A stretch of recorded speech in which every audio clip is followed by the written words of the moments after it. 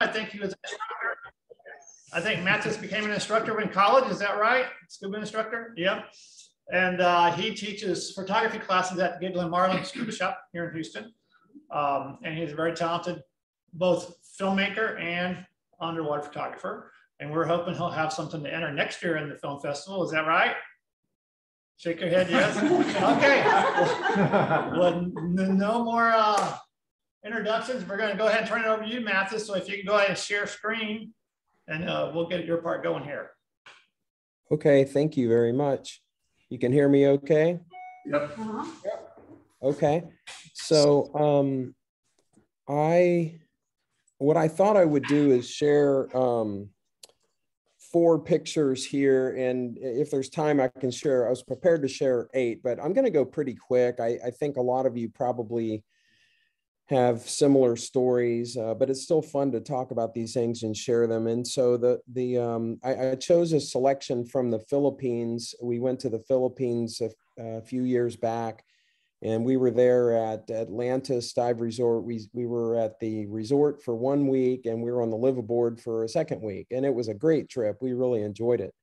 This first shot that I select, oh, by the way, let me say this now. All of these photos I'm going to show you here were shot on a Nikon D300 camera. This is an older camera and, uh, and it's in a Subal housing with two Sea & Sea strobes. Um, either a 60 millimeter or in this case, this photo, I think the first one is a 105, but all the others are a 60 millimeter lens. So this first photo, if I was going to show you a picture that I'm proud of, of a pygmy seahorse, this would not be the one that I would select. Um, I feel like I've got some nicer ones and some better ones, but how I got the shot is quite um, a little bit more of a challenge. Um, all week I'd been asking them, uh, them being the, the resort operators, where's the pygmy seahorse? When can we go see the pygmy seahorse? And, um, and finally the day came and they explained to me that this pygmy seahorse was in 100 feet of water and it was uh, kind of a long swim. I, I would guess it was a couple of hundred yards from the shore um, and we we uh, we had to kick out pretty far. And instead of going on the surface and descending, we we did a, a, a very you know very quickly it became a, a 30 foot 40 foot 50 foot 60 foot we're just swimming kicking kicking in 80 feet. And i'm i'm looking at all the other divers and i start to get that feeling of when am i going to get my turn to take a picture of the pygmy seahorse? Is it going to be all kicked up? What's what's my bottom time going to look like? Man i'm using all this air. All that kind of stuff is just racing through my mind. Um, a 105 lens, which many of you know, and, and, now you see I'm wearing readers now. This is this is so important, and um, it's not my favorite lens in turn because you, you, once you look through and try and find the animal, and y'all know what I'm talking about, and you finally see it if you're lucky enough to see it. If you lose it, you lose it. And in this case, I had a really good um, dive master uh, that that helped me with his pointer, and he would put the pointer right near this seahorse, and then I would give him a little nod of my head, and he would pull that pointer away, and I'd go click. And um, anyway, that's how I got this shot, and um, I'm going to just move quickly to the next one. But you guys stop me if you have any questions or stuff. But I'm I'm just going to. These are fun stories to tell. Um, I'm guessing most of you, if not all of you, have uh, have done the mandarin fish dive or a mandarin fish dive and have seen these. Well, my first time to do this, uh, I had no idea what to expect. I just nobody explained it to me. And um, if you've never seen this or done this, I, I highly recommend getting an explanation from somebody what is this going to look like where's where is the point of photo um, you know just the whole thing the, the, the way it happens in in seconds um, uh, the way they travel up from the bottom and do their thing and then go back and and you know getting your lighting right and uh, you know being ready for that focus point. And and so I, I can't see all of you but i'm sure some of you are nodding and you and you know what i'm talking about. We did two dives at this mandarin site and um, mandarin fish site there in the Philippines. And the first, and they were each an hour long. I mean, this was this was the specific reason to go there was for this. And the first night I did it, I, I got a few photos, but really it was, I just left that thinking, wow, that just didn't go well. And um, I was really ready for the next time because I'd learned so much from the first time and um, and just being you know ready for that how far up the, the, the two fish come from the bottom how quick you have um, it, for me the importance was being able, able to see them and they wouldn't let you use real lights you had to use red lights and so you had to be able to see them and get your camera in position and click you know and and and really quick like that. Anyway you know i probably have a hundred photos but i have three or four that i that i really like you know because for me i was hoping to get both fish together like this.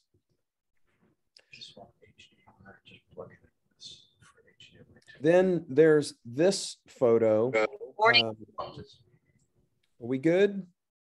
Yes, we're good. Okay, the, or, the ornate ghost pipefish photo. Um, so funny because we went to this dive site. I can't remember what it's called, but I know that they had a dead palm tree sitting at the bottom, and and many people on the trip would say, "There's that palm tree again." Well, I, I think I was the only guy that loved it because it was a guaranteed set of the of pipefish and uh, also a frogfish, and uh, it was there almost every time we went. They all that was there, and and I just I just loved it, and I camped out with these guys and and um, this, as well as some other photos, a big part of, of, of, this over, over the long haul, I've just learned to come in slow and uh, let fish get acquainted with you. Spend spend maybe three or four minutes if you can, as long as it's not a drift dive. If you can spend several minutes just observing and looking and moving in slowly, the fish start to don't they, they they get to a point where they just don't care as much and and that really was part of what happened with with this duo here. And another challenging part about this photo for me was trying to get them both in focus. So i would go up or i would go down or i would go left or i would go right because i was dealing with a very minimal depth of field. So if i could have one of them in focus and the other one was slightly behind it then he wouldn't be in focus. And so I worked with that really hard and and and again, I mentioned I'd been to this site several times, and when I would come back and look at my photos and review them, I, I kept thinking about that, and I kept thinking I want to get them both in focus, and so I was able to finally accomplish that with a few photos, um, where I could where I could get them both, you know, in focus, get the exposure right, and and there was a lot of angling, up, down, left, right, um, I also did a lot of video of these guys, and and um, I was able to set up a, a, little tripod there. They allow that there at, at Atlantis, and and um, and it was a lot of fun working with with these. And I think I got one more. So um, if you've been over there, they've got a place. I think it's called Cebu, and and it's a it's a guaranteed whale shark experience. Awesome. And um, I got a lot of pictures of whale sharks cruising around and really fun pictures. But then I thought, you know, I want to get a picture that really shows perspective of how big the animals are and what it would like, what it would be like to see the animals. So I swam farther away from the action, farther away from the group of people where everybody else was, hoping for a photo like this. And I, I think I got two of them like this, where in, in this case, you know, we've got we've got three divers I really like the one in the bottom left because this guy, well, I like them both. You know, the guy with the camera, he's getting the shot, and the other person down there deeper is just looking up at this giant fish swimming over, and and um, and so this was this was really a fun experience. Um, I might just that, that's really all I had. I don't I don't want to use a bunch of time. I had some other photos that I could share, um, but thanks for listening um, I, I, appreciate being able to share some of these, and I hope that some of that was entertaining for you. No, it's very good. We appreciate it. And I agree on the. That is the most challenging thing when you have a pair trying to get both of them in focus uh, when they're moving around. And so, good job. I, I think the images you shared not only are a testament to your skills, but also to the richness of the Philippines. So maybe yeah. people that haven't been to the Philippines before see that kind of stuff and say, I need to go. So um, we appreciate you uh, stepping up and doing this with us, Mathis. And uh, maybe down the road we can have something like this again, share a few more images. I know you have plenty of good ones to share. So thanks a lot. Okay. Okay, I don't know if you can see me. I guess not. I don't have any lights here, but um, we're going to have to swap computers here since Ken has got his um, computer presentation on it. And um, yeah, go ahead and get some lights in here because we, you want to go ahead and get started? Or do I disappear when you do that? I may be disappearing now. All we're gonna do is.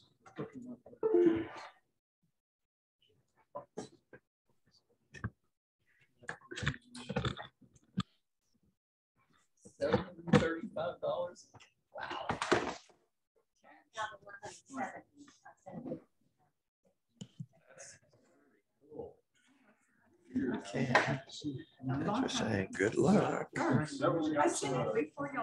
My speaking. Yeah, you can sit here. Is that gonna switch over? We got. Hmm.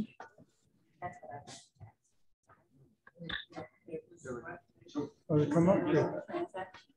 Okay, we don't need that. You want me to just go? Dennis? It's Ken gonna zoom in there? How we doing? Dennis is gonna zoom in so we can see it. How are we gonna put that camera?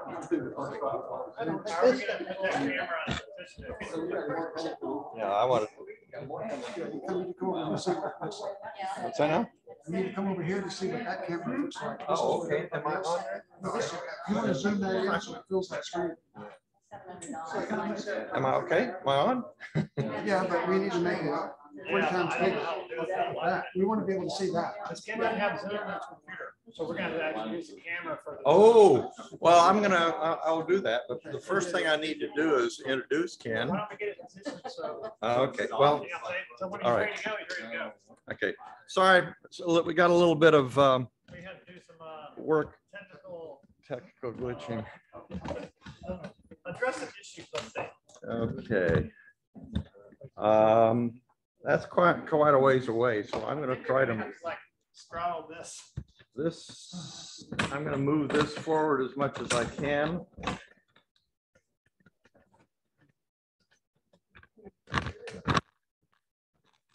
Tell me when I'm closer. So we're gonna block it, the problem. That's as close as I can get. It's not even that close. You're gonna. We're trying to get it with the Zoom, people can see the screen. Yeah, let me turn the lights off. Yeah,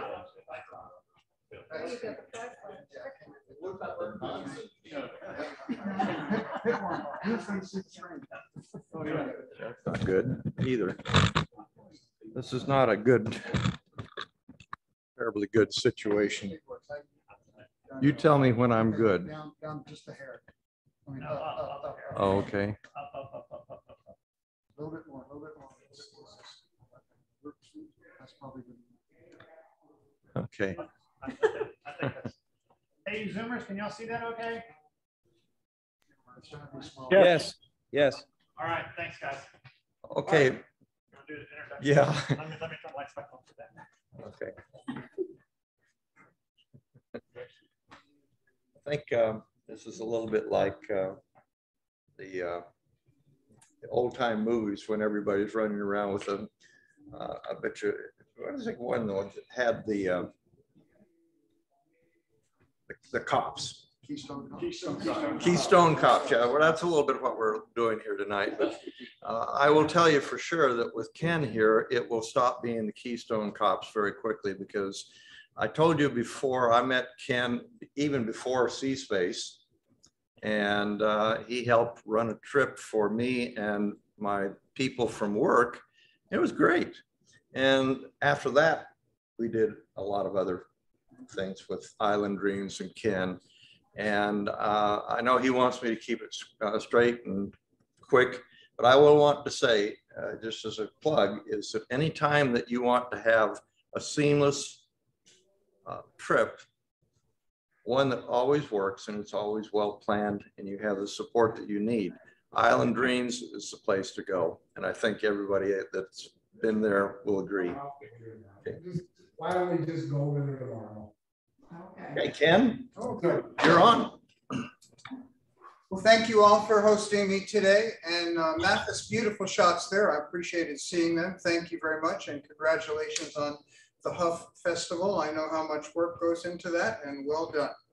So this is a program that's kind of been moshing about in my mind for a while. We've had two years, and don't worry about putting me, just keep the screen on. It's good. Okay, sure. We've had two years of, of confusion in the travel business uh, and a lot of change taking place. Even today, I was adding new slides to this presentation. And I think it's something that's going to continue to grow. We did it a few weeks ago for the Chum Club, and a few of you were here and helped me to add additional slides between then and now, and literally changes constantly taking place. So here we go. See if I, I welcome you to my office. It's mostly island dreams with the occasional island scream more recently, as you can imagine. But amazingly, in April of this year, we are 35 years under the brand Island Dreams Travel. And uh, that we survived that long and continue to thrive. So it's been more than two years now that we've been dealing with this pandemic. Millions of people have died from it, and yet the world is finally beginning to come spin around that travel is reopening again. So what does that mean to us as dive travelers and how can we best make our way into the future? So I want to ask very quickly, who has been traveling recently? We have a few travel, where you been? Over. All over, that's a good answer. Dennis? Uh, Egypt. How wonderful. Henry? Bonaire. Bonaire. Galapagos, uh, Cozumel, Costa Rica, Iceland, all during pandemic. How fabulous, fabulous. So a lot of travelers here. Do you believe in the COVID-19 pandemic? It doesn't matter whether you believe it or not. We have to play by the rules. It's become a very complicated, I call it a balancing act, what we have to do to make all of this work. So here's some things that we are considering. I'm trying to reach my computer. You want me to run it for you? Not anymore, huh? There we go. I went four in a row. Advanced research must continue up until the day of travel because things are literally morphing that often. A lot of pre-arrival documentation is now required, all different manner. Now there's some destinations that you have to render a QR code that explains your situation in the world and have to present that. I'm just visualizing a little guy when you get on the pier in the Philippines. How is he going to read the QR code? But that's their problem, right? uh, arrival apps is becoming more common now that the destination itself has an application that you have to log on to and complete before you can travel. Many places are now making insurance, travel insurance coverage, not dive insurance, but in addition, travel insurance, a mandatory requirement. Well, here we go. Definitely proof of vaccination almost, almost everywhere, not all. You have to prove that you have been vaccinated against COVID-19 and some are requiring a QR code of that. You have to comply with these entry requirements in advance because the airline is required to enforce them. I was just reading this today, trying to figure out about the situation in Hong Kong and travel, that if an airline brings someone in who is not compliant, they charge the airline 50,000 US dollars per instance of this happening. So the airline is encouraged to force you to play by the rules before you even get where you're going safe air travels, masks are still required. They're talking about removing that requirement on the airplane. That'll be an interesting thing to see if that happens. Requirements upon arrival. Some places you have to be tested when you get there. Some you have to prove that you have just been tested within the last 24 or 48 hours or different sorts of stipulations. You need to be aware of all of these.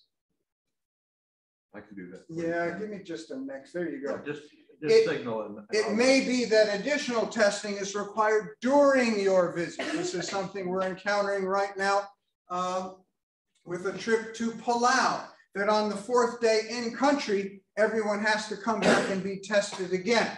Next slide, please, Dennis. Safety at the resort and the dive boats. We're going to discuss that next, please.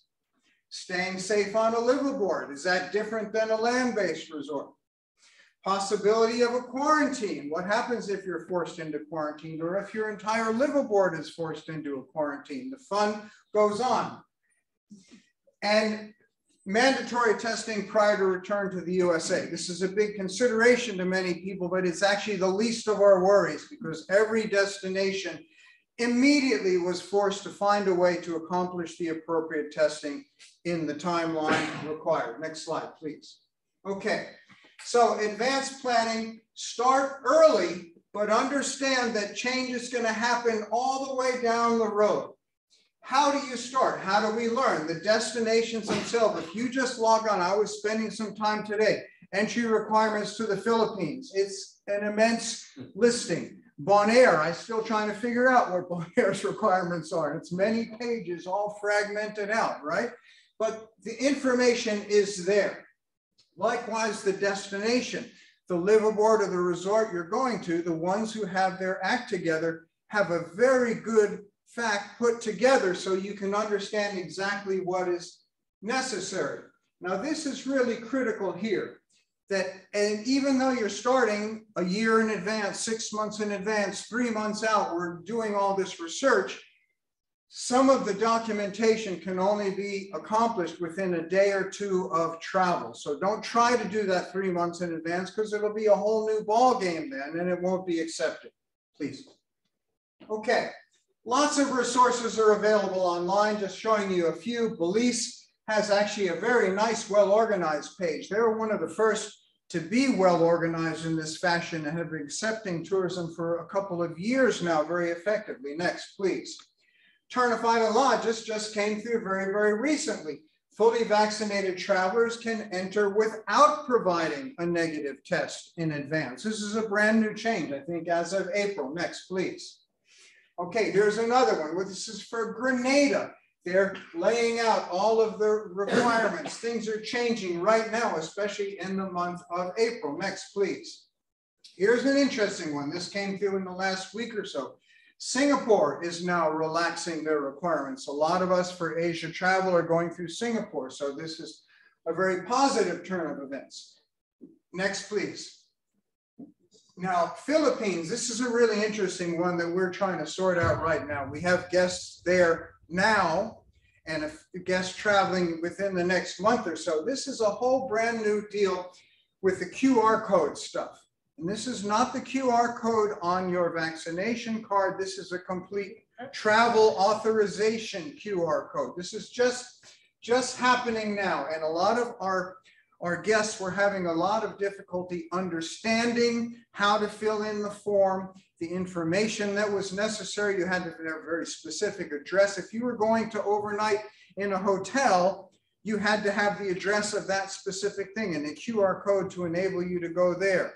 If you're going to El Galleon Resort the next day, they need to see a copy of your passport and your vaccination status and all that, and they issue a QR code back to you. They're issuing it electronically, but what happens if people travel and don't have their phone? Okay, now they're telling us that at least the tour leader or one person in the group should have all the QR codes on his phone, in addition to having them on paper.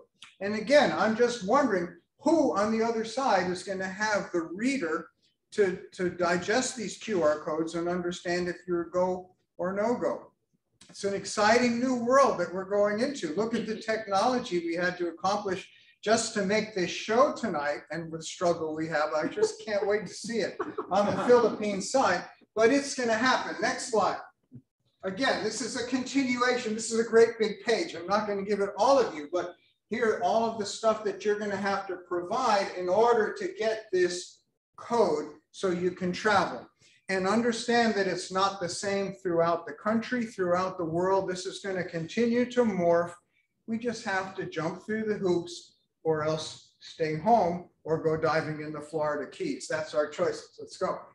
Okay, is travel insurance a sucker bet? What do you think? Next. No. Yeah. Not anymore. Not anymore. Next slide, please. Okay. Here's what it's accomplishing for us, right? What happens if you're forced into a quarantine because someone else in your group tests positive and everyone is quarantined? There are expenses associated with that. Many other things, if the dog ate your vaccination card and you have to go into quarantine, who knows? Next slide. Belize has been very proactive about that. They're selling it for $18. And that's a wonderful thing. This is the only country I'm aware of yet that's doing. You, who else? St. Martin. Saying, okay, wonderful. This is going to have to happen to more places. They're basically self-insuring. But if the country does not, let's continue. DAN, for instance, and again, here we're talking about a travel coverage, not dive accident insurance. It's a whole separate thing. And I believe DAN sells it for a specific period of a trip or they'll sell you on an annual basis. I haven't looked, please. Ken, in, in regard to DAN coverage, when I called them earlier about the trip on the BVI, I asked them about the COVID coverage, and they told me it wasn't covered. Is it covered now? Go back to the slide. It's right off in their website. Yeah, well, well, let's, eh, rather than me specify DAN, my point here really is you darn well better go and look at any insurance that you continue. You got DAN, you've got Dive Assure, this is Travel Safe, every one of them, you're gonna have to go review very carefully and understand what their requirements are today, not yesterday. Because when I saw your slide, it looks like it now covers COVID. Yeah, well, that, that's right off the DAN site. It said it did. This And, is but- and they changed their whole travel insurance about a month or two ago. Okay, I- They didn't, I right? They just reopened the whole concept of it within the last I month. or called two. them like three months So ago. Let's so here's go. a- Here's a twist I'll, I'll give you on that. Uh, The insurance now breaks down, some of them say we do not offer pandemic coverage. Generally, Uh-huh. but we offer coverage for COVID nineteen. Mhm. So they're separating the existing pandemic, They're hedging their bets for the next one. something that might Wow. happen. yeah. Wow. So Wait till it- they base it by variant. We're only gonna cover the first four. This so is we're the- not covered for the zombie apocalypse. Yeah, there you go. So the point to run a here. pandemic, It's a lot more. Mhm. The point here is that the game is continuing to change. This is not over. We're not going to go back to the happy world we thought we lived in in the 1980s, or if we can remember that far back. The game is changing. We have to play by the rules and we have to understand what the rules are. Next slide, please. So most of you hopefully have a card like this and are excitedly anticipating going in for the next booster. And then we're going to need a bigger card, obviously, after that. But continue, next slide. The other point I make is some places are requiring that in addition to that little paper card, basically most of the rest of the world went with a QR code on the vaccination status. The United States fought against that and did not make it a requirement, but other places that we're going to are requiring that. So how do you get the QR code? Now, someone the other day suggested that you could just make your own, and that sounds good. But I'd go back to that fifty thousand dollar fine concept there. No, no, What, what I said was, if you have a website, it's easy to make a QR code for that website. Okay, okay, of the website. There you go. Well, this is right off of one of my coverage. I'm in the Memorial Hermann Health coverage, so I just went to their webpage, right? You go to your status and here it prints you a page with the QR code. So, and, and what, I'm just stepping back a minute, I was reading, ano- maybe it was when I was trying to understand the Bonaire requirements where they're saying that if you falsify your data or if you have false statement about uh, your vaccination status, it's up to three years in prison for this stuff. So I wouldn't make my own QR code. That's my point. Let's go on. Okay, so what do you think are our safest options now? Next, please. Stay at home. Well, that's, we're gonna be getting to that. Is a land-based resort, next slide, is it better than a liveaboard? What are the differences? The liveaboard, you'd think, is kind of a built-in bubble, right? If everyone comes aboard healthy and the crew is healthy, you have a happy, safe trip. But what if one person comes aboard and turns out that they test positive, as we found out? Yeah, we found out that the whole boat goes into quarantine dive trip is over, you go back to shore and you're in quarantine for as long as it takes. Case, case in point, uh, Jesse Cancelmo had the uh, Antarctica trip. And uh, there was some, a lot of people that were going down there to dive. I think they were gonna get fourteen or sixteen dives. uh, on the way down, uh, somebody came down with COVID. And um, they ended up with two dives and had to come back early. So, I mean, that's a premier dive uh, location and a lot of money was Yeah. lost in the process. Well, hopefully, again, this steps back to the point of the insurance coverage, but it really makes you wonder about the whole liveaboard concept. If this enforced quarantine is part of the game, it is not in all situations and all destinations. Uh, Which options are safest next? Shopping at Walmart, take your pick. Which would you rather do? I, maybe, maybe we'll go diving instead. Next slide. Okay, what destinations that we're looking at are safest? Next slide. Mexico, which is obviously a fabulous destination for all of us, and Mexico is not just Cozumel and Cancun, right? You've got some of the greatest diving in the world in the Sea of Cortez and Socorro, big animal diving, amazing place. Mexico, did Mexico worry about the pandemic? Did Mexico ever have a requirement or restriction of any sort? Not that I'm aware of. Just come on down, gringo, and spend your money. They just want your green papers. Huh? They just want your green papers. They want your green paper, your money. And honestly, it's worked out pretty well, to my knowledge. I'm not aware of any of my clients having a problem and ending up in quarantine. On the ground there, they're being very safe as far as the resort personnel, the dive personnel, they're all vaccinated and wearing masks and being very careful. The tourists are frolicking and drinking at the bar, but it's all worked out pretty well. So Mexico surprisingly has, has been a success story. What about Belize? As I pointed out, Belize has been open for a couple of years now. I've been there two times already into Belize since this pandemic, and it's very well organized system, sincerely well organized. I did a liveaboard as well, and that worked very nicely. Next slide. Bonaire, Honduras, Turks and Caicos, they've really all been open for a while now and seem to be doing well, but the restrictions constantly change. Again, I point out Bonaire is just changing again right now. They're making some new, uh, more stringent requirements. Next slide. What about Fiji? They vaccinated 95% of everyone in the country before they opened it up to tourism. Fiji, of the Pacific destination, was the number one most proactive. But this is a relatively small country, relatively wealthy by third world standards. And they know tourism is their number one. Other than Fiji water, what have they got to sell? So they were really big about making tourism work and it's very effective. We've had groups there and back now, very successful. Let's go. Philippines is just getting started. We're sorting it out, trying to understand what the restrictions are. They are constantly changing. Let's go. Indonesia, we're finally getting there. I think in April, Bali is sort of opening up without quarantine. Our Wakatobi friends are expecting that they're going to be hosting travel later this year. And uh, we're just watching to see how they're going to play. All of these countries are learning from one another to a degree, understanding what are the effective techniques. Let's go. Where else are we considering? What other dive destinations that we haven't mentioned here? I heard St. Martin, Galapagos. is a- Sol- Solomon's, obviously. Solomon Islands, we're working on Solomon's. It's supposed to open July 1st and we have a trip going July 2nd. And I'm still trying to sort out how to make that work. This has been a very exciting opportunity for me in, in having money stuck all around the world and trying to figure out how to make things work. Let's go. Okay, what other destinations are safest? Continue. The countries that value tourism, the countries that vaccinate their local populace. I said Fiji is 95%. You think Philippines is 25%?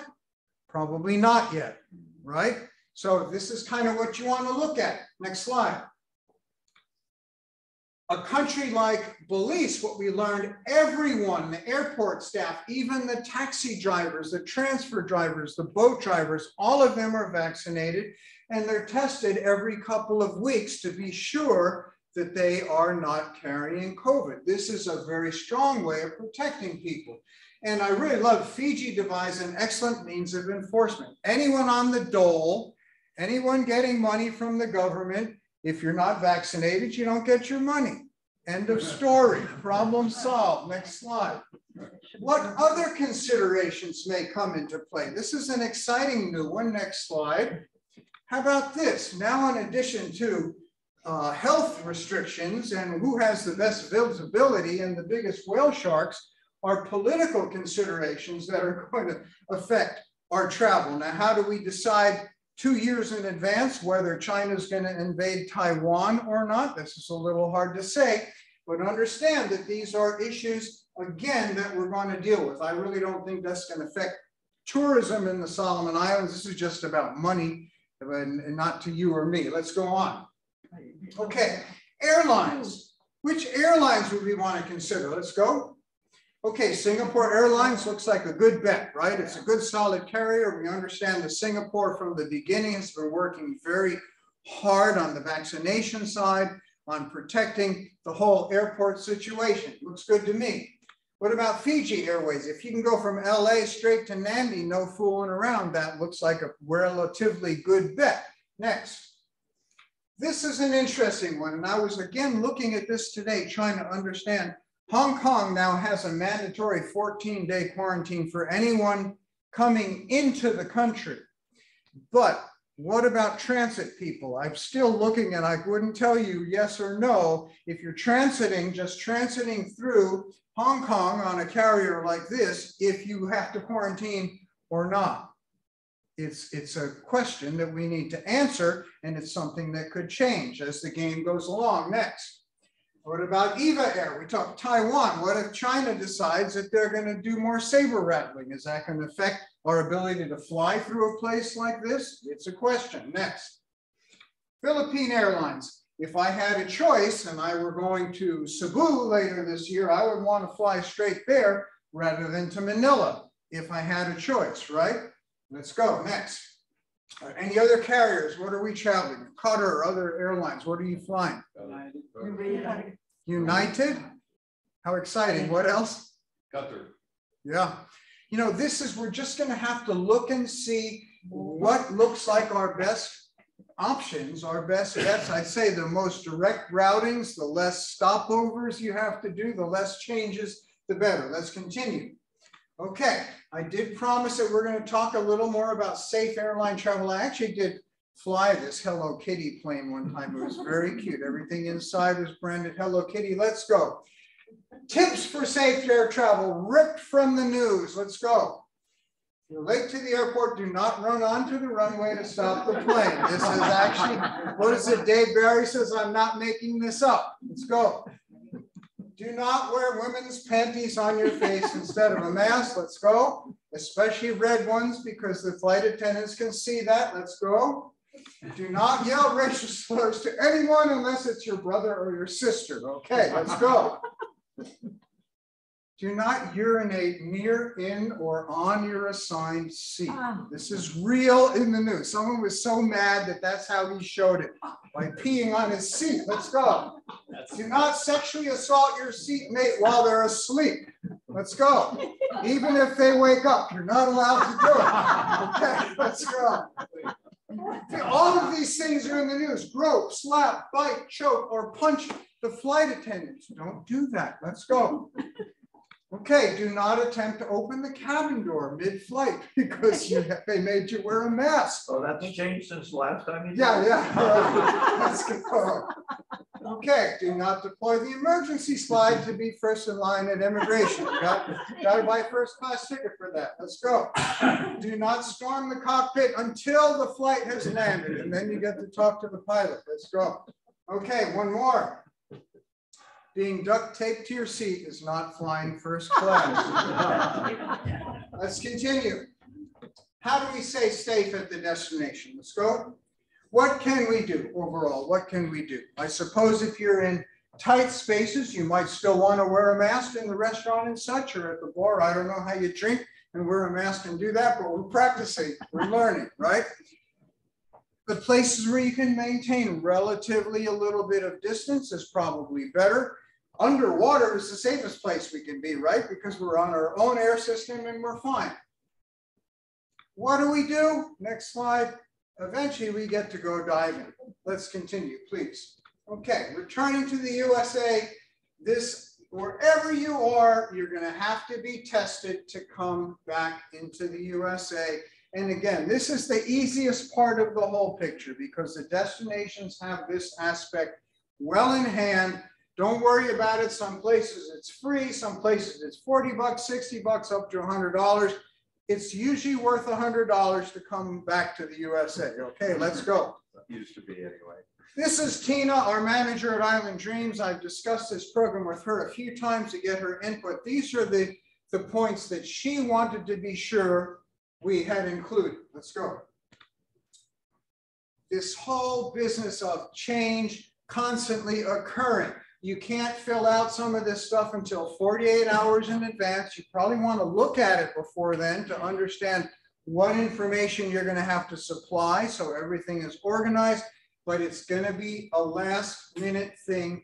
And again, some of my clients, as they get older and more whatever we become as we get older, are having some difficulty accomplishing this, but it is a requirement. Let's go.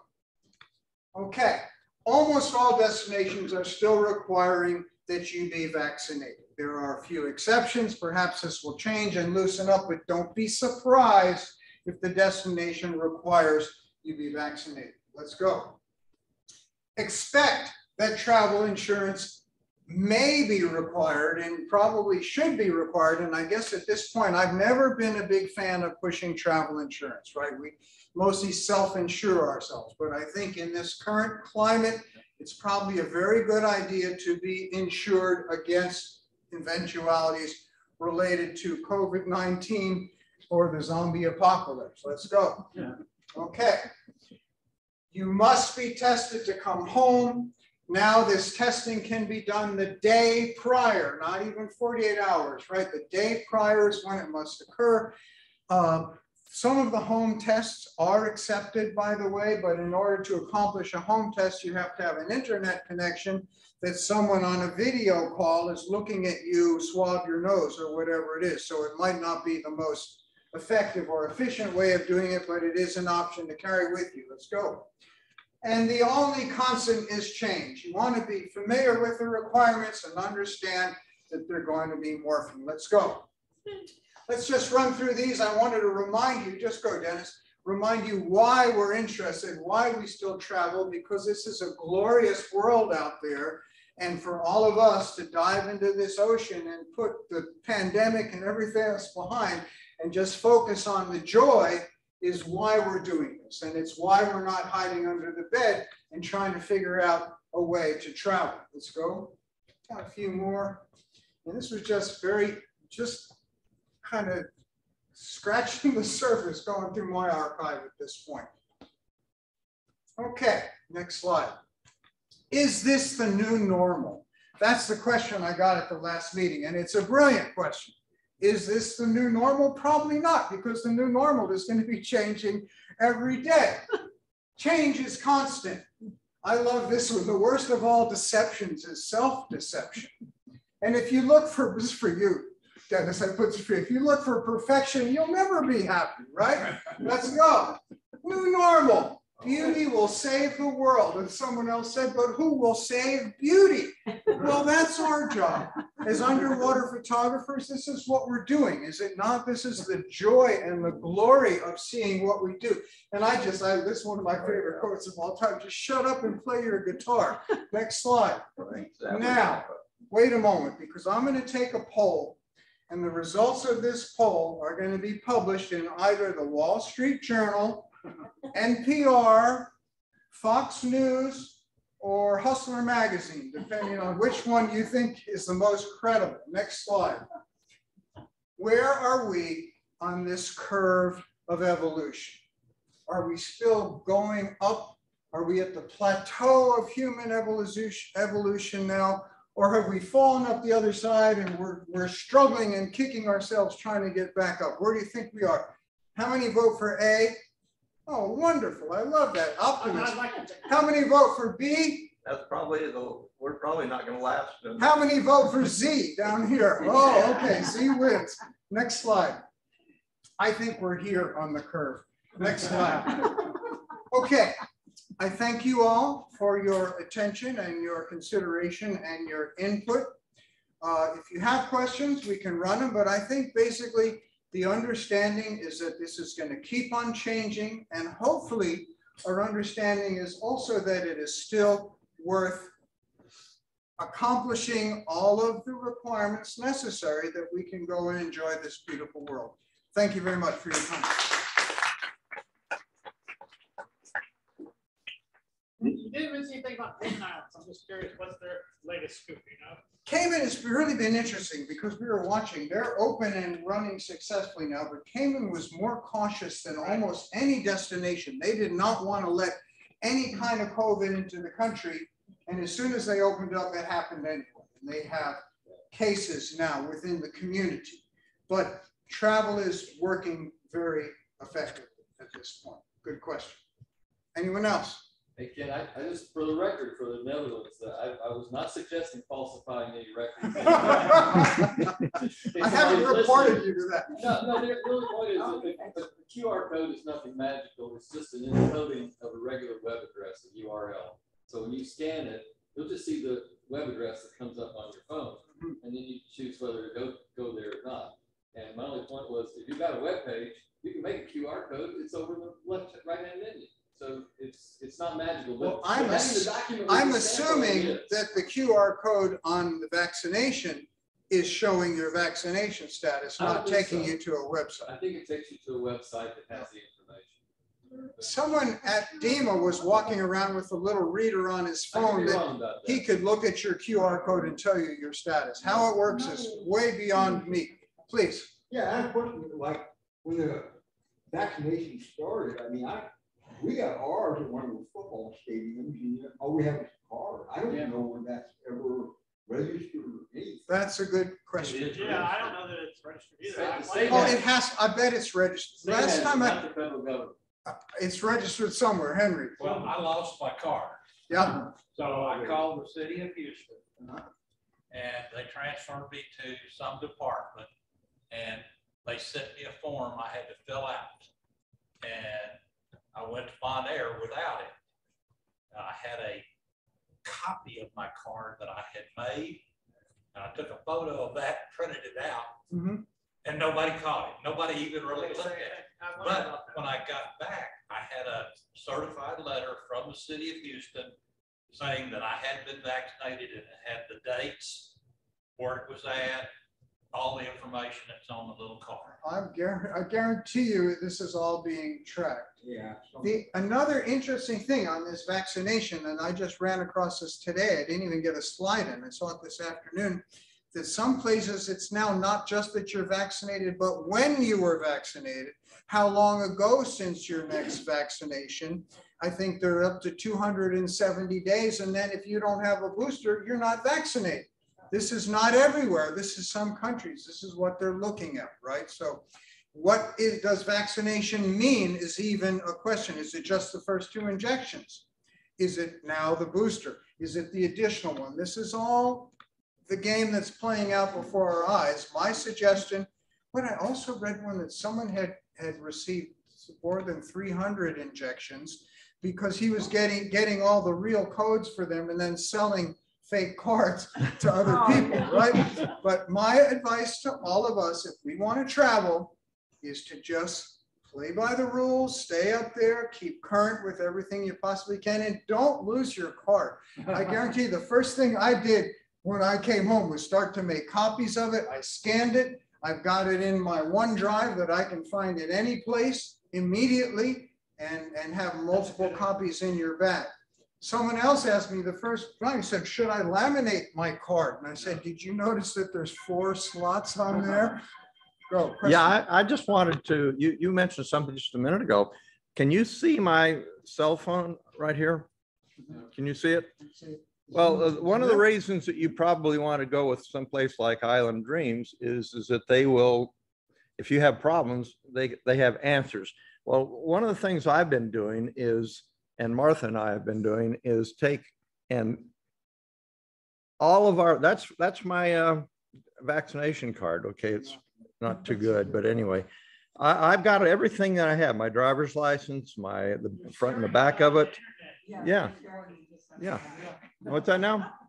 I do the same thing. I like to share all my private data on the internet. 'cause- Oh, well, whatever. It's, If somebody, if somebody wants to uh, be me, they can do that.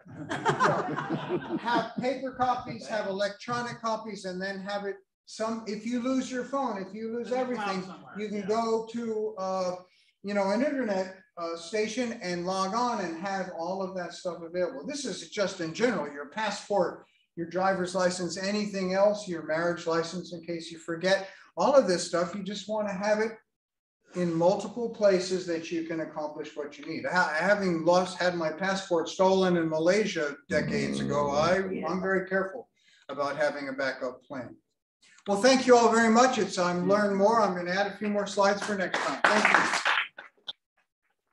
I I guess we will now uh, get uh, moved over. You need to get the HDMI over to your Hey, uh, computer. Any of you Zoomers have any questions for Ken? Because we weren't watching or checking y'all. No, okay. No I questions, don't really have really a wonderful. question, but Thank I you. got some comments. Okay, let's hear your comments, Joe. Okay, last December, I was with a group of adaptive divers in Cozumel. And at, and at the end of the, uh, at the end of the week we were there, we had to get our testing to come back to the US.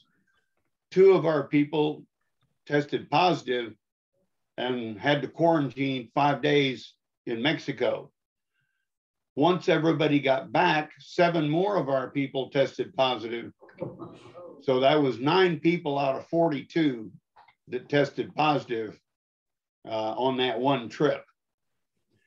My, my, my second comment is I just got back yesterday from a two week cruise. In the middle of the two week cruise, we were forced to take a, a, a PCR test. I'm sorry, an antigen test. And I tested positive. So I spent the second week of the cruise in quarantine and I just got back yesterday. So yeah, traveling during COVID can be an adventure. No symptoms? What's that? How are you- Sorry? How are you How are you feeling, Joe? Feeling? How I'm okay. Uh, uh, once, once I tested positive, my wife and daughter did not. So they dragged me off into another room. Mhm. And two days later, they had to be tested. And my daughter tested positive. My wife was allowed to sign an affidavit so that she could stay in the room with her. But then two days later, she tested positive. So during that course of that week, all three of us wound up being positive. That was not your best cruise. That was not your best vacation then. Well, No, hope- that was, that was not very high on my list, but I do have a free cruise coming now. Well, that's, that's nice at least. That's nice. Well, we hope y'all continue to feel better and recover, so keep, keep, keep on trucking. Did someone else have a comment a moment ago? The Zoomer? Hi, it's PJ. I have a question. Okay, go ahead. If you're going on a liveaboard and somebody tests positive, why not just quarantine on the boat and keep diving? Will they not let the, the boat operator keep everybody away from the port?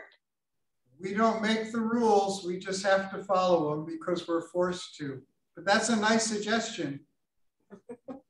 Don't- I think I think the issue with that would be um, the person that has it might need treatment. Well, we were all had a quarantine cabin set aside. Bigger, bigger cruise. quarantine Yeah. cabin. So they were gonna put you in the cabin and keep you there, away from the rest of, them. they weren't going to the dock unless Right. you really needed medical treatment. So, I think the other issue is just the risk of exposing all the crew members. You know, if I knew there was someone on the boat sick and I was working on the boat, I'd be like, let me off of this sucker, you know? But, uh, anyways, all right, any other questions or comments for Ken? Thanks again. Well, thanks, Ken. So we need to take a little break. or how long? Yeah, let's take, take a break for about three or four minutes or five minutes. We're gonna have to swap computers again, so we're gonna have a little break for a couple minutes and we'll be right back with the photo contest. Yeah. Well, that kind of worked out okay, Ken. Yeah, it Yeah, no, it worked nice. And then it's definitely a timely topic. Oh, and I Oh, don't need, it I don't need batteries. Tell you what, I'm too serious about it. Uh, Going with someplace like you guys I don't know. I, I'm kind of lost when it comes to going and trying to figure out things by myself. Well, we're just constantly learning. It Keeps morphing and we're just keep learning and trying to keep up. We're getting ready to go to the Philippines and you scared the shit out of me.